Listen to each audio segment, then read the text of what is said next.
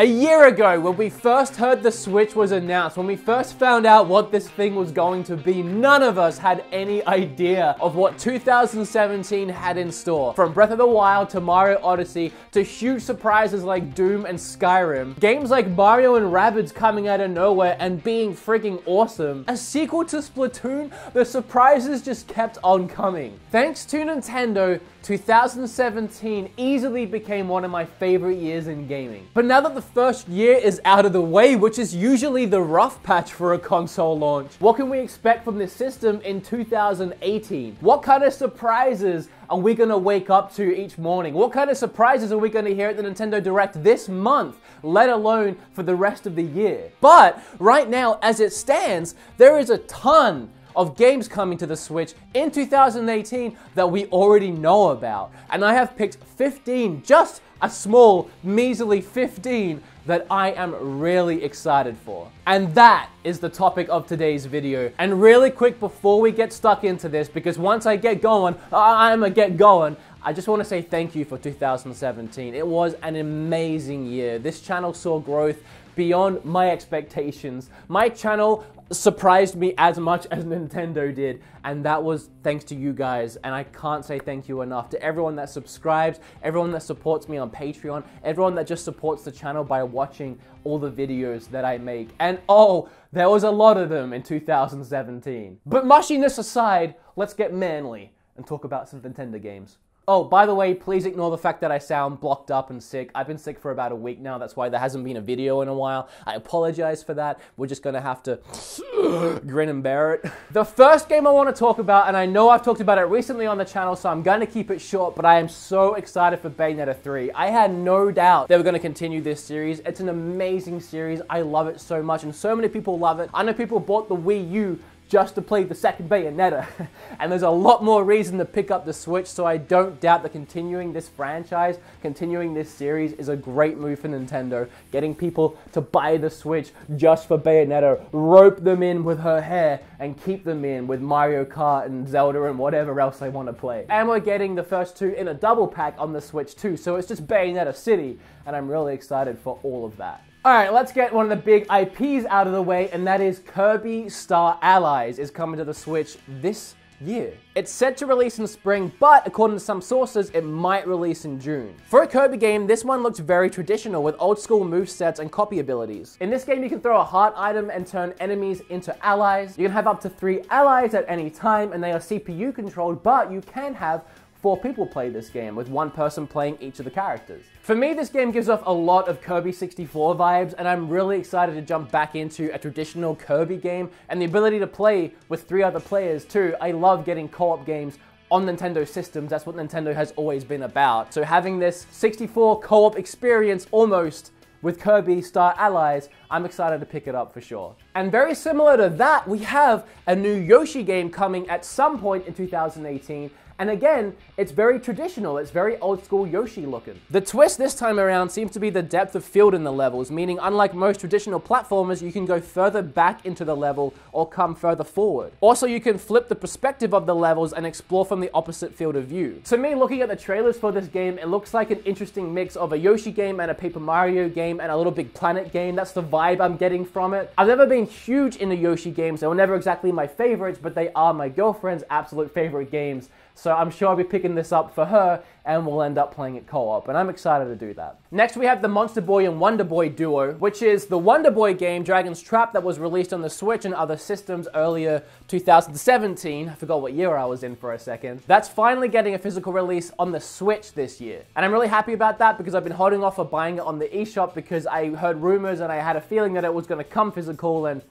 here it is, an amazing game and I really like it. And this year we're getting a spiritual successor to that Wonder Boy remake and that is Monster Boy and the Cursed Kingdom. So both of those are dropping this year and I'm very, very excited. Payday 2 is another one of those surprises I was talking about that we didn't expect last year. I was sitting down watching a Nintendo Direct, I can't remember which one, and it was all pretty above board. There wasn't really anything too shocking. And then right in the middle there was, oh, and Payday 2 is coming to the Switch. It struck me as something that was really weird. I, Payday 2 on the Switch, I, okay, out of all the things I thought would get ported, that wasn't one. But the idea of having that game, a co-op game like that on the Switch, definitely excited me. There's a few online games for the Switch now, like Rocket League and Doom, a lot of multiplayer type games, but nothing with this level of cooperative play. So it was supposed to be out 2017, I'm pretty sure. It was pushed back to this year with the release date of around winter. This version of Payday 2 is set to have something special in it just for the Switch, but we don't know what that is yet. We're gonna have to wait and see. I'm glad they're taking the time to refine this and making sure that it works right. We don't want something like WWE 2K18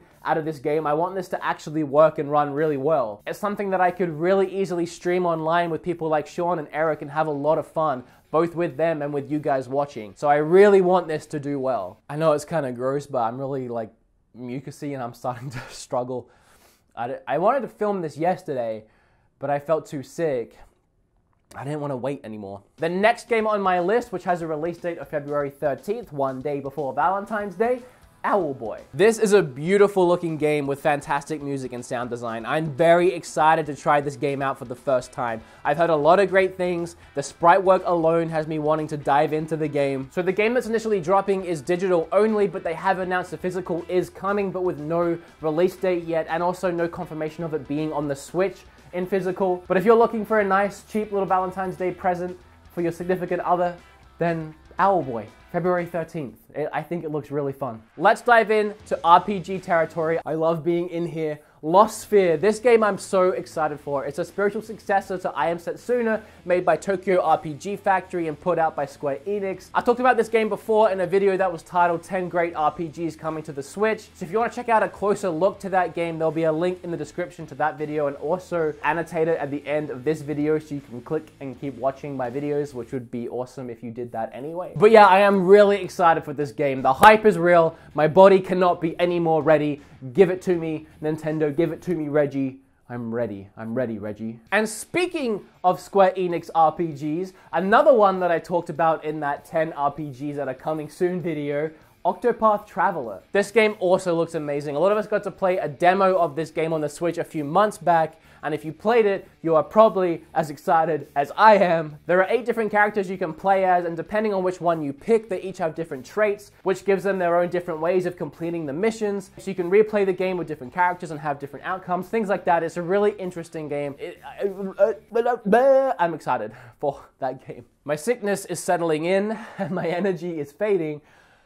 Let's keep going. Let's do this. I'm almost there. 30 years of Street Fighter will fall into your hands this year in May. Street Fighter, Street Fighter 2, Street Fighter 2 Champion Edition, Street Fighter 2 Hyper Fighting, Street Fighter 2 The New Challengers, Street Fighter 2 Turbo Street Fighter Alpha, Street Fighter Alpha 2, Street Fighter Alpha 3, Street Fighter 3, Street Fighter 3 Second Impact Giant Attack, and Street Fighter 3 Third Strike. Holy damn. That is a lot of Street Fighters. I feel like maybe that's a few too many Street Fighters, considering they're all very similar. But for a Street Fighter fan, this is Street Fighter Gold. How many times have I just said Street Fighter? Also, they've picked four of these games and they've given them online play. So again, if you're a Street Fighter fan, this is the place to be. There's a lot more I could say, but I'm gonna move along before I have to say the SF word again. Nintendo has done a really good job at keeping the new Fire Emblem under complete wraps. We know nothing about it from a release date to what it looks like to how it's gonna play. The only thing I believe that we even have a rumor of is that they're really looking to shake this Fire Emblem game upside down, which seems to be what they're just doing this year in general. They shook Zelda up on its head, they mixed up Mario and did something new and innovating. They're trying a lot of new and innovating things on the system and with their games in general. So I'm not surprised to hear that this game is also being shaken up. They're trying something different with the battle system, I've heard. Interested to see how this turns out. And again, we know nothing about it. It's supposed to land this year. Who knows if it gets pushed back? I definitely think they are going to try and get it out this year. And it's definitely going to get people on board with the system early this year in anticipation for that. Bloodstained Ritual of the Night is supposed to release in March. It got pushed back a little bit. It was a Kickstarter game that I think raised about 5.5 million. The former producer of the Castlevania series is working on this game and it's a spiritual successor to the Castlevania games. So of course, I'm excited, and of course, my body is ready. And essentially, a new Castlevania game is landing on the Switch in March. So, I mean, yeah. If you don't know yet, let me be the first to tell you I'm very excited about a new ToeJam and Earl game coming to the Switch this year. If you aren't familiar with the ToeJam and Earl franchise, it's something that started back on the Sega Genesis or the Sega Mega Drive. That's right, I said Sega Mega Drive. And it's had a few different games in the series at this point, and they've all been very different styles of games. But this new one is very reminiscent and pretty much exactly the same as the first one, which I personally believe to be the best one. The first one had something about it that was very unique, and I haven't really seen again in a video game. It'll be really cool to pick up my Switch and play a ToeJam and Earl game again, just just like back in 1991. Or for me, when I was growing up, it would have been more like 1998, 99, but Speaking of old games making a comeback, and also speaking of 30th anniversaries, we have Mega Man 11 coming later this year, a brand new Mega Man game from Capcom. Pinch me, I must be dreaming. While I personally, I'm not completely sold on the graphic style they went for, it's fine. It's really the gameplay that matters anyway, and it does look like it's going to be a return to form old school Mega Man game. Kind of surprising because Capcom almost seemed to not want anything to do with Mega Man anymore, and now here we are. A lot of these companies are finally realizing what's going to make them money, and Capcom has decided, alright, we'll make a new Mega Man game. So later this year on the Switch, oh, you bet I'm ready. Wolfenstein 2 has already launched on all the other systems, but at some point this year, we're going to get it on Switch. How is it going to run on Switch? I'm hoping it runs the same as Doom, but Doom was released in 2016, whereas this was released very recently. Can the Switch handle this? It's taking a while to get this port out, so maybe they're struggling to put it over. Only time will tell. I'm pretty sure myself, because I haven't played the game yet, I'll still play it on PS4 for the first time, just because I really enjoyed that game and I want to have it on my TV in 60 frames, 1080p, and all of that jazz. But I don't know, maybe the Switch version will blow me away. Maybe it'll be so awesome that I won't be able to help myself but to play it portable the first time. Only time will tell, and I'm really hoping, I'm really hoping that this does well because then every single thing that Bethesda's put over would have been an amazing port. And that is really awesome and what the Switch needs. Now, a couple of things that don't have release dates that maybe we'll see in 2018, but I, I personally don't think so, is a new Tales of game. There is going to be an exclusive Tales of something game on the Switch, and we know pretty much nothing about it other than a rumored 2018 release, but I, I'm again, I think it's still in development, so we'll see. And same goes for Metroid Prime 4. Some people think we're going to see it this year. I don't think so. I think it's going to be 2019 at the earliest, maybe even 2020. But then again, Nintendo is a very surprising company, so I guess we'll have to wait and see. But something that has really strong rumors of coming out either December this year or very early next year is a new Pokemon RPG game for the Switch. Here's a few things that we know about this game so far. One, there is a Nintendo Direct this month, and possibly, hopefully, it's going to give us some more answers onto what this game is going to end up being. The biggest rumors right now are saying the battle system is going to be changed up to a real time battle system. It's being compared to something like Digimon World. And if you think about Pokken Tournament, I wouldn't be surprised if, even back when that game was made, if it was almost a testing ground as to a new battle system in Pokemon how people would take to a real time battle system in the Pokemon universe. I think it's definitely time for a change. In Pokemon, we've had a very similar battle system for the last 20 years. We're moving to a home console. It's the first time a Pokemon, a big Pokemon RPG's been on a home console since GameCube era. And I think it is time. I've always I've been an advocate for the longest time of having an open world RPG Pokemon game with real time battles, real time finding the Pokemon in the wild, seeing it there, walking up and battling. And while I don't think this game's going to be that in depth, I don't think it's going to be the Skyrim Pokemon game that I've always wanted. But again, we've seen Zelda turned upside down. We've seen Fire Emblem rumors saying that that's going to be turned upside down. Mario was very innovative. I wouldn't be surprised, and I, am not going to be surprised. Real time battle system and just a, a big mix up, a real shaking it upside down on its head of a Pokemon game. But that is rumored for late this year, maybe early next year. The Switch itself, the system itself, has been a combination of everything Nintendo has ever done, both in its systems and in its games, all leading up to the Nintendo Switch. And this year, I know a lot of these games are cross platform, but on the Switch, you're gonna have a new Castlevania almost. You're gonna have a new Mega Man. You're gonna have a new ToeJam and Earl. And we've had a new Zelda. We've had a new Mario. We're getting a new Metroid Prime. We're getting a new Pokemon, a new Fire Emblem. We're getting everything. The Switch is gonna have every single franchise that everyone has ever loved since the early 90s. It's crazy. I don't see any reason for any single gamer who's been a gamer for the last 20, 30 years to not want to pick up a Switch. There's to be something for everyone, both new gamers with new IPs and old gamers that want to pick up the games they used to love. This is why the Switch is so exciting for me to keep making videos about because one week I can make a Switch video and literally be talking about ToeJam and Earl in 2018. It's crazy. I started my channel as a retro channel. I am a retro gamer. I've loved old games my whole life. And I get to stand here now in 2017, 2018 and talk about Castlevania, talk about Street Fighter.